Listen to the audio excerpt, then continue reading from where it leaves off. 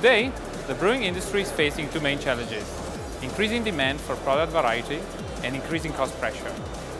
Due to the competition with the craft breweries, which is getting stronger and stronger, in the US and in Europe, beer brewers have to address the market with a wider portfolio of products. Similar to what's happening in other food and beverage industries, established products are not sufficient anymore to satisfy the demand for more innovative and individualized products.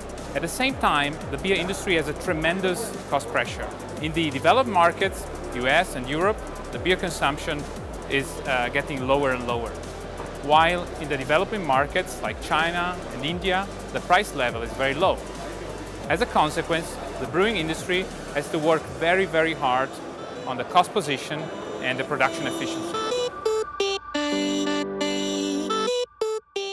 Digitalization is the answer to the challenges of the brewing industry. And it takes three key advantages. The first one is data integration, letting different departments within the corporation grow together and improve their collaboration. The second one is data value, turning data into insights so that they can be used to improve the process, the products, and the production efficiency.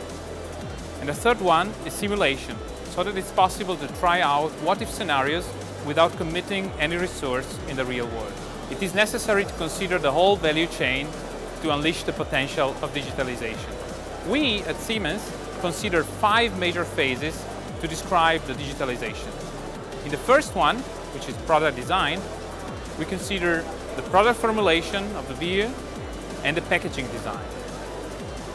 The second one, once we exactly know what must be produced, we start with the production planning, making it sure that we achieve the targets, for instance, in terms of production capacities. During the production engineering, automation, electrical and mechanical aspects are defined in details. In the production execution, we coordinate all necessary activities, from the production scheduling down to the shop floor.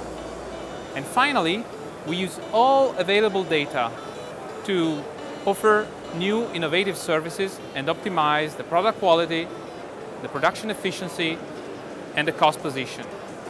Many customers ask me if digitalization in brewing is possible.